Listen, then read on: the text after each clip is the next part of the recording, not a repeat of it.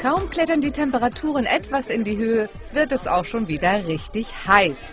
Das amerikanische Dessous-Label Victoria's Secret präsentiert nämlich pünktlich zum Frühlingsbeginn die Bademode für den Sommer 2010. Die drei Engel von Victoria's Secret, Miranda Kerr, Alessandra Ambrosio und Candice Swainpool, landeten am Donnerstag in Los Angeles, um die Bademode des wohl sexiesten Wäschelabels zu präsentieren. Und da durften nicht nur die Topmodels, sondern natürlich auch die sexy Bikinis und Badeanzüge bewundert werden.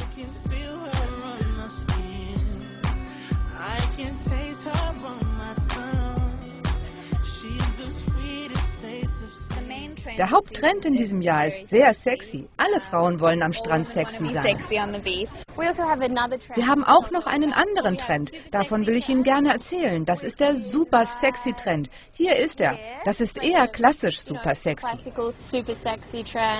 Doch die Bademode von Victoria's Secret ist nicht nur super sexy, sondern auch noch super praktisch, weiß Topmodel Miranda Kerr. Alrighty. Woo. For example, the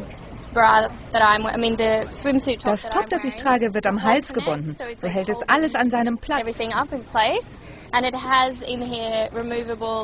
Und hier drin befinden sich, wie sagt man doch, kleine Schaumstoffpads. Die geben dir den extra Push-up. Die kann man raus oder rein machen, ganz abhängig von der Oberweite und dem, was man sich als Frau so wünscht. Zurückhaltung ist bei der Bikini-Wahl in diesem Sommer wohl fehl am Platz. Die Schnitte sind in diesem Sommer sexy oder auch super sexy, ganz nach dem Motto, weniger ist mehr. Wer jedoch den ganz großen Auftritt liebt, der greift sicher zu Victorias Topless Bikini. Der ist garantiert immer ein Hingucker, auch wenn man kein Victoria's Secret Model ist.